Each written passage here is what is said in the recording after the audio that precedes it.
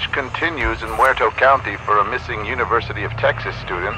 The sheriff's department says Maria Flores, a native of Uvalde, was last seen near the town of Newt. Her vehicle was recently discovered abandoned, with officials reporting no signs of foul play. Authorities are hopeful that the expanded search into the nearby communities of Harlow and Chinatown will unearth new leads. Family and friends are urging anyone with information regarding her disappearance to please come forward.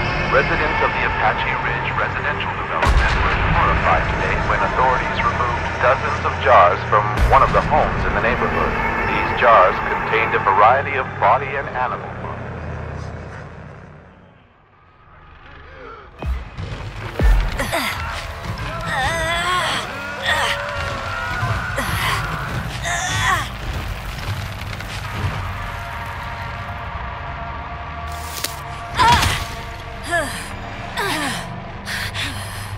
What the hell's going on?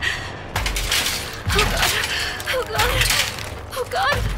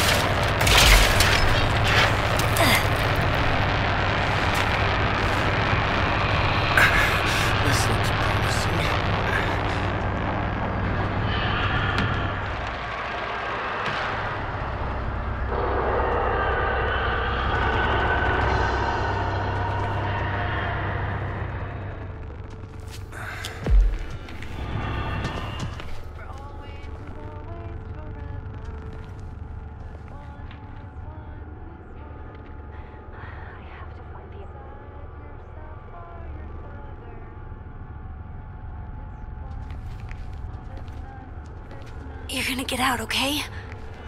You will, Julie.